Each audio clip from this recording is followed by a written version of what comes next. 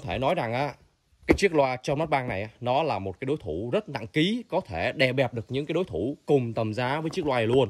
Điển hình như là chiếc ờ, JBL Flip 5 này, hoặc là JBL Flip 6 thậm chí là cả JBL chặt nam luôn. Nếu như ngoại trừ đi cái độ ờ, chi tiết âm thanh nhá mà nói về cái độ lớn âm thanh cũng như là cái giải bass thì chiếc John Mart bang này đủ sức đè bẹp một cái đép những dòng loa luôn. Bây giờ mình sẽ quay sơ qua những cái cơ bản của chiếc loa này, rồi sau đó tí nữa thôi mình cũng sẽ tháo tung hết chiếc loa này ra để mà khám phá cấu tạo bên trong nó. Ở phía sau uh, mặt loa sẽ có những cái thông tin quan trọng như sau. Mình chỉ cần chú ý những cái nào uh, quan trọng thôi như là công nghệ âm thanh của uh, dòng tròn mát này. Và loa cũng có khả năng kết nối đến 100 chiếc loa cùng loại với nhau. Còn đây là tính năng sạc ngược lại cho những thiết bị khác. Và loa cũng có luôn khả năng chống nước chuẩn IPX6 này loa có đèn có thể uh, tùy chỉnh loa thông qua app tức là mình có thể điều khiển chiếc loa này thông qua một cái app ở trên điện thoại. Và loa có luôn cổng ờ, 3.5 đọc thẻ nhớ này và có cả công nghệ NFC kết nối với điện thoại chỉ với một chạm thôi. Nếu như điện thoại của mình nhá mà có NFC chỉ cần mở NFC lên chạm pip phát là nó tự động kết nối luôn chứ không cần phải dò tìm bluetooth kết nối nữa. Rất là nhanh nha các bạn. Với chiếc loa này thì nó cũng đã được ra đời uh, cũng tương đối lâu rồi. Nhưng mà đến ngày hôm nay thì mình mới uh, tiến hành trải nghiệm trực tiếp. Nó là như thế này tổng công suất của chiếc loa John mắt bang ấy là 60W còn pin á, theo như ờ, thông số mà mình đọc được ở trên trang bán hàng thì nó có thể nghe liên tục được khoảng 10 năm tiếng đồng hồ. Đây nó dùng tới hai màn cùng hưởng luôn. Cái thiết kế này ờ, các bạn đã liên tưởng đến cái dòng loa nào chưa? Với mình thì mình thấy nó cũng ờ, tương tự như dòng loa JBL Bombot ấy, cũng khá là giống thôi. Nhưng mà nhìn vào thì vẫn là khác. John Mart bang ở phía trên loa sẽ có các nút nhấn chức năng cơ bản, nhìn phát là biết ngay rồi. Nẹp c này, và để ờ, kết nối với ờ, 100 cái loa cùng loại chữ M này là để ờ, tùy chọn chế độ. Kết nối Bluetooth hay là thông qua các cái cổng này để mình mở nắp luôn. Có cổng AUX này, cổng thẻ nhớ này. Ở đây có cổng sạc tai C và cổng USB với mức áp ra tối đa là 5V và dòng tải tối đa là 1A còn cái lỗ bé xíu này nó là lỗ thông vào cái công tắc để reset cái loa lỡ như mà loa nó bị lỗi hay là một cái vấn đề gì đó thì mình sẽ chọc một cái à, uh, tăm nhỏ hay là một cái thanh sắt nhỏ xíu ấy vừa với cái lỗ này nhấn vào để reset loa. Đó là những thứ có ở mặt sau chiếc loa. Quay lại với mặt trước này thì nó còn có nút tạm dừng này nút tăng và giảm âm lượng cũng như là nút để uh, tùy chọn cái uh, chế độ âm thanh chính sẵn ở trên chiếc loa này. Ở đây có chữ S và chữ P tức là mình có thể uh, tùy chọn giữa một và hai nó chỉ có hai bản thôi.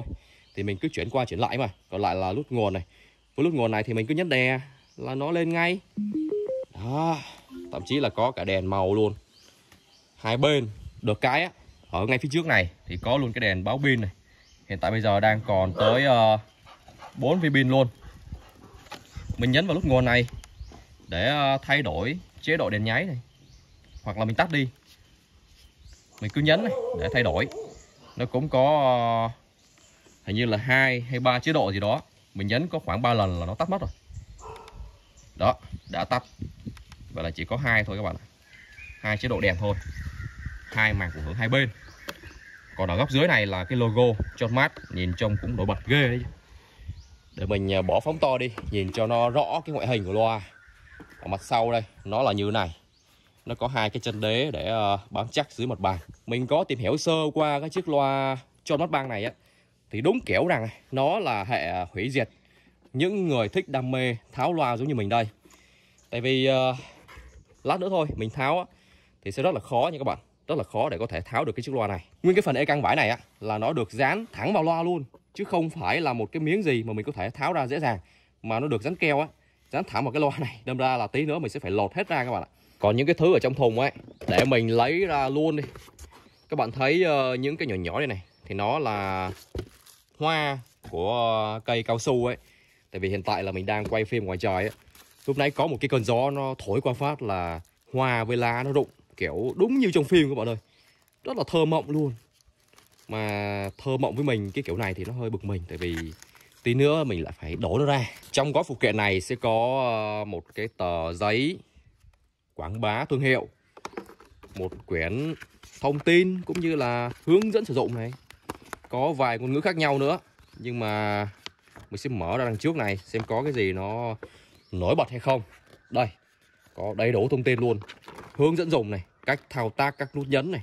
Nhấn một lần rồi nhấn đè nhấn mấy lần để có thể chuyển sang cái uh, chế độ dùng khác nhau. Căn bản là mình thấy uh, cái phần hình ảnh này nhìn trông rất nét và đẹp đấy. Và có cả cái trang tải app nữa. Còn lại là hai sợi cáp một sợi cáp 3.5 dùng thông qua cổng AUX còn lại là một cái sợi cáp sạc tai si. Vậy là đã hết. Ngay bây giờ mình uh, sẽ thử kết nối vào app này và lên nhạc thử nghiệm luôn. À với chiếc loa này á như mình đã nói do là nó được thiết kế theo kiểu gọi là hủy diệt những người thích tháo. Đâm ra nếu như mà tháo ra là nó cũng sẽ bị hở luôn. Mà nó hở rồi á thì hai cái mặt của hưởng này có như không. Đâm ra là nghe nhạc á, sẽ rất là dở. Thành ra là bây giờ mình sẽ thử nghiệm trước rồi sau đó là mình mới uh, tháo ra sau. Như vậy cho nó dễ nha các bạn. Ở đây mình cũng đã tải sẵn một cái app của John Mart rồi. Mình sẽ nhấn vào. Trước tiên là mình uh, kết nối với nó đã. Mình nhớ hồi sáng là mình có kết nối rồi. Đây John Mart Bang. Nhấn phát kết nối luôn. Để mình uh, tìm một cái bài nhạc nào đó. À các bạn chờ mình tí. Để mình uh, tùy chọn các cái loa đã ở đây là chống nước bang thì mình nhấn vào thôi để cho nó nhận và kết nối ngay. Cũng như là tí nữa mình có thể uh, tùy chỉnh các cái ờ, uh, EQ của nó này tức là chế độ âm thanh đó. Hình như là nó đã kết nối rồi. Đây các bạn ơi nó ra các cái uh, chế độ âm thanh được chỉnh sẵn này. Hoặc thậm chí là mình có thể tùy chỉnh theo uh, ý thích của mình luôn bằng cách là kéo cái thanh này. Midrange bass chép đó, tùy chỉnh theo ý thích. Còn nếu như mà không thích chỉnh nhá thích theo kiểu mặc định của nó thì mình cứ uh, nhấn tùy chọn theo cái uh, mặc định của nó thôi. Mình sẽ thử nhấn cái nút SP này. Xem là nó có nhảy uh, chế độ hay không. Đó các bạn thấy á nó chỉ có hai chế độ chính là default và sao uh, pon này thôi. Nhấn này là nó cứ nhảy qua nhảy lại. Chứ còn mấy chế độ như là deep bass hay là classic rock này là mình phải uh, tự tay nhấn vào. Chứ còn một khi mà đã dùng cái nút SP này thì nó chỉ có thể nhảy từ default sang uh, pon và ngược lại thôi. Rồi lên nhạc thôi suy nghĩ gì nữa? Đấy, các bạn thấy kinh điển chưa?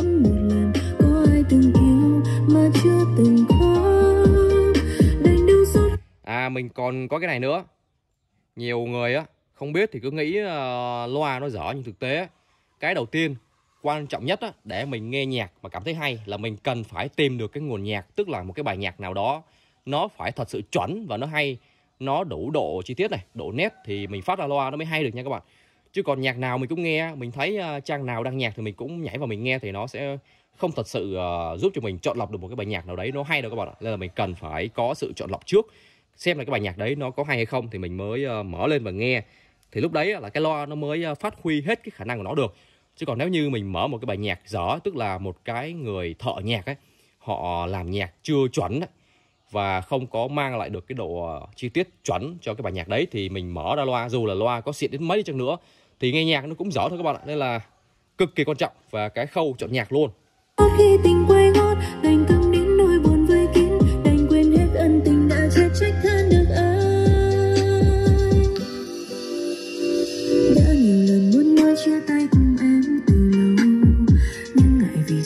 nói sao để em chẳng buồn? Vì sai lầm em chẳng có. Đâu cái này à, bắt nhiều hơn và dày hơn. sao tôi muốn chia tay? Dù đã có lúc tôi cố quên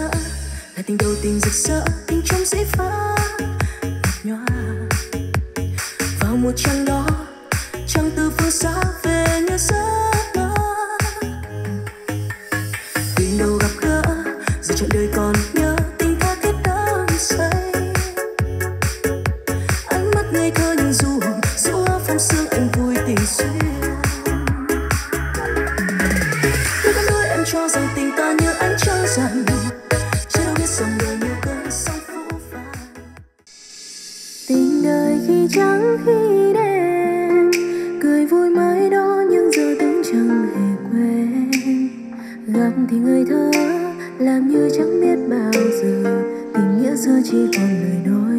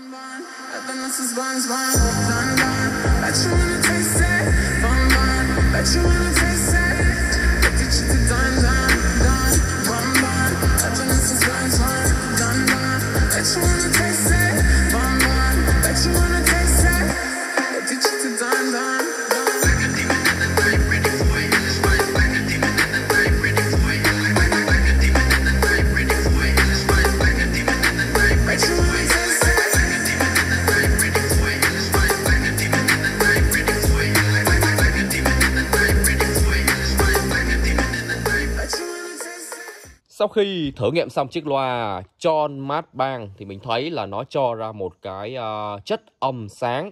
Gần như là cả ba giải âm ấy, bass trung chép thì nó ngang ngang với nhau, không giải nào ờ, trội hơn quá nhiều so với giải nào. Còn về ờ, giải bass á, thích mạnh là có mạnh mà thích vừa là có vừa. Bằng cách là mình tùy chọn các chế độ ở trên điện thoại ấy, thông qua app điều khiển. Hoặc là mình nhấn ở đây này để mình chọn một trong hai thì nó sẽ có bass vừa nhẹ hoặc là bass mạnh. Tuy là giải bass ở chiếc loa cho mắt bang này á nó có mạnh nhưng mà nó không quá điên cuồng, nó quá trầm như ờ, dòng loa JBL hoặc là Harman Kardon nha các bạn. Nên là với cái giải bass này thì mình thấy á, là nghe lâu nó cũng khá là dễ chịu chứ nó không có kiểu ờ, gây nhức đầu hoặc là nó quá điên cuồng đâu. Còn với giải mid á và giải chép thì nó cũng ờ, được tôn lên rõ ràng chứ nó không có bị thiếu hoặc là bị tối nha các bạn. Rồi, bây giờ cứ thế là bung nó ra. Mình có nghiên cứu được là để tháo được chiếc loa này á thì mình cần phải tháo được hai cái nắp hai bên mà cộng hưởng này thì mới có khả năng à, tháo được đến những cái phần tiếp theo. Công nhận rằng ấy đây là một cái thiết kế hủy diệt những cái người đam mê thích khám xong phá giống mình đây. Cái này đúng kiểu gọi là khám xong phá mà phá là hư thật nha các bạn. Nên là cái kiểu ờ, thiết kế này mình rất là sợ luôn. Ui, rơi mất rồi các bạn ơi. Vậy là mình đã tháo được cái phần tay cầm rồi. Nó cũng đã lộ dần ra những cái thứ quan trọng ở bên trong. Đó các bạn thấy này. Cái phần vải là nó được dán keo đó. Đâm ra lát nữa là mình phải lột ra hết cơ. Rồi khi nào gắn lại á là cũng cần phải ờ, đổ keo tiếp luôn thì mới gắn được. Chỗ này mình sẽ lấy hai cái miếng ờ, lót chân này ra để tiếp tục tháo ốc. Mình tháo được một đống ốc rồi ấy. Đây, các bạn nhìn này. Một đống ốc rồi. Cái loa này à, nhìn thì cứ nghĩ là nó đơn giản nhưng thực tế thì cũng à, không hề đơn giản đâu. Vậy là đã ra được miếng tiếp theo. Vẫn còn quá trời ốc ở đây luôn các bạn ơi. Phải nói là mình quá sợ cái chiếc loa này luôn đấy.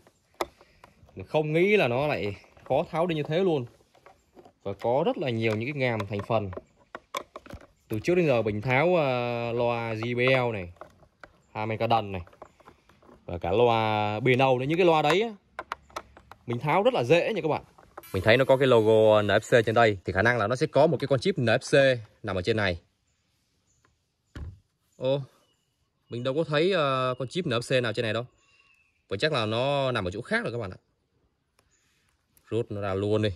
Cái mạch nút nhấn nó chỉ đơn giản như này thôi. Chứ không có chip gì cả. Cũng khá là cứng. Cuối cùng mình đã tháo thành công cái mặt đáy rồi các bạn ơi. Mừng quá.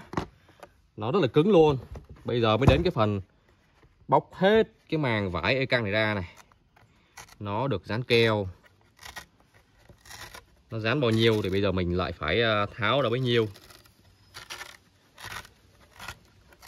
chà, cái này cũng căng quá ta như này là các bạn đã đủ thấy à, đây là một thiết kế đúng kiểu à, hủy diệt những người thích khám phá như mình chưa một khi đã tháo ra rồi là gắn lại cũng rất là kỳ công luôn đấy. Chứ cũng không hề đơn giản. Quá kinh điển luôn các bạn ơi. Đây, cũng còn rất là nhiều ờ, ốc nữa. Để mình có thể ờ, tiếp cận vào bên trong chiếc loa này.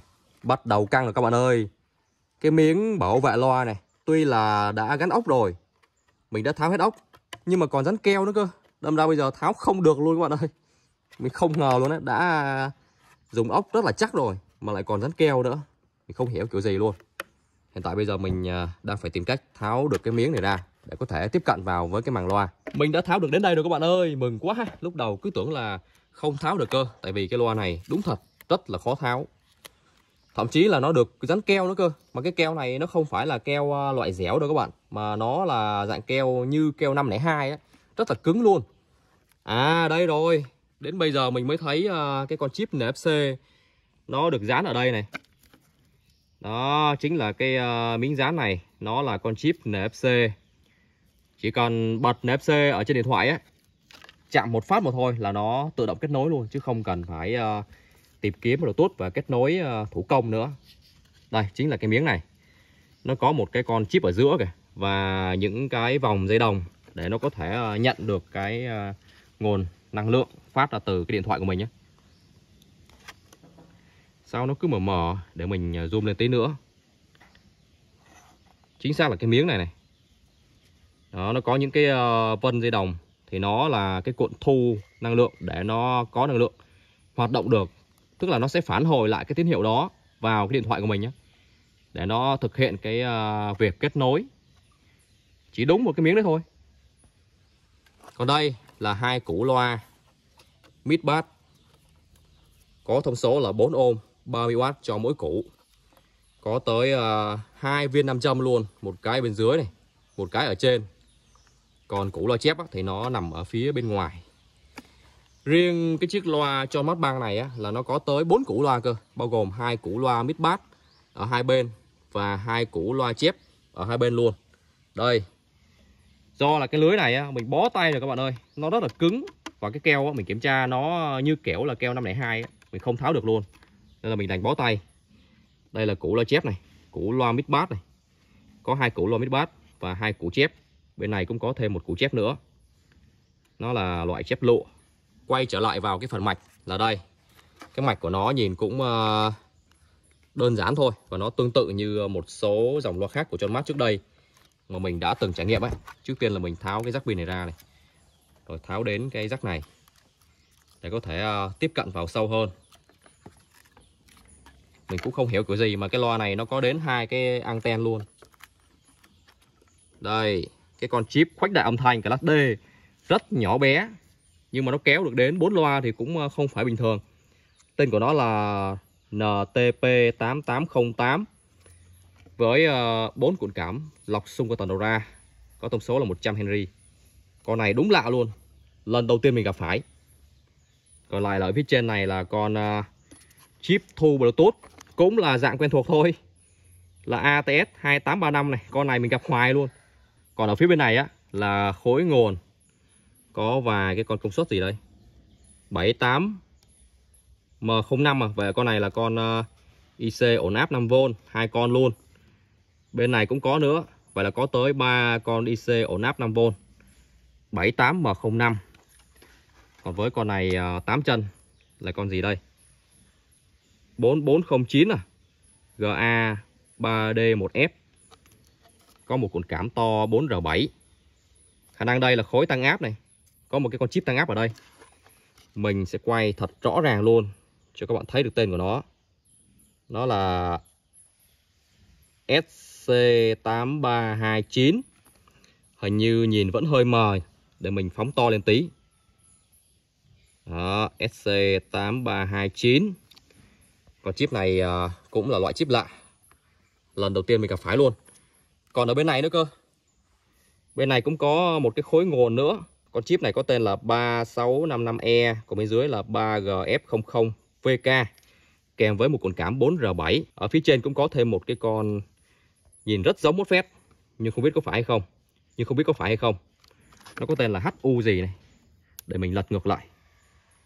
Đây vậy là mình cũng đã soi à, tương đối chi tiết về chiếc mạch trong chiếc loa trong mắt bang ở phía sau nó thì không có gì rồi ngoài vài cái à, rắc kết nối thôi còn đây là khối pin này khối pin này theo như à, thông tin mà mình đọc được ở trên trang tròn mát thì họ nói nó có dung lượng là 10.800 mAh có thể phát nhạc liên tục được khoảng 15 tiếng đồng hồ. Khối pin này cũng được dán keo rồi, đâm ra là bây giờ mình cũng không thể tháo ra để xem được chi tiết luôn. Các bạn chờ mình tí để mình uh, lấy cái thước ấy, mình đo sơ qua kích thước của hai củ loa này xem là nó rơi vào khoảng bao nhiêu cm. Mình thấy nó rơi vào đâu đó là 7,5 cm cho mỗi củ loa mid bass này. Đúng luôn các bạn ơi, nó rơi vào khoảng ờ, 7,5 cm. Nhìn kỹ cái màng loa này nhìn trông rất là giống màng carbon các bạn ơi. À, như đúng thật hay sao ấy.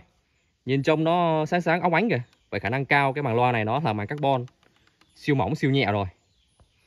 Vậy là mình đã trải nghiệm cũng như là khám phá xong chiếc loa tròn mắt bang. Nếu như bạn nào mà có quan tâm đến chiếc loa này, mình cũng sẽ để à, đường link tham khảo mua hàng ở trong phần mô tả video luôn. Còn bây giờ mình xin kết thúc video tại đây. Các bạn mỗi người hãy dành tặng mình một like và nhấn nút đăng ký kênh để không bỏ lỡ những video tiếp theo. Còn bây giờ thì xin chào các bạn và hẹn gặp lại các bạn ở những video sau.